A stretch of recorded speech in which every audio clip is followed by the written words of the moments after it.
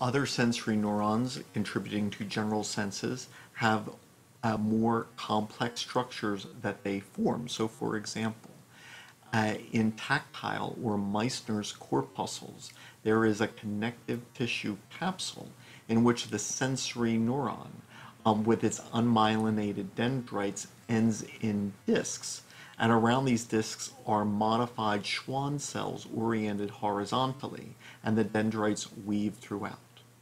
These Meissner corpuscles are found uh, just underneath the epidermis in the dermal papillae in the superficial layer of the dermis. They are more common in sensitive skin, like the fingertips, on lips, and on nipples, and in skin which lacks hair. And they participate in perceiving light touch, which makes them useful because in hairy skin, uh, there are sensory neurons wrapping around uh, the hair follicle, uh, but these uh, contribute more in hairless skin, and they can decrease significantly as we age.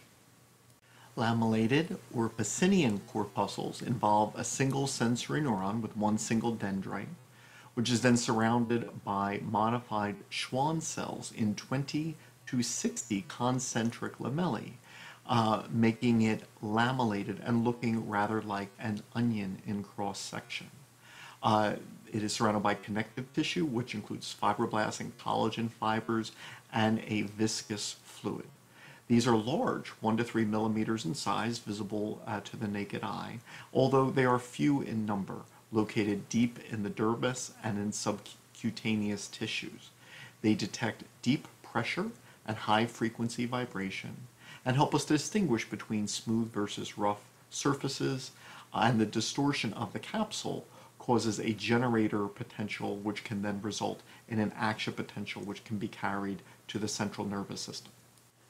Bulbous corpuscles or Ruffini endings uh, involve the dendrites of sensory neurons in a thin elongated capsule of collagen and connective tissue.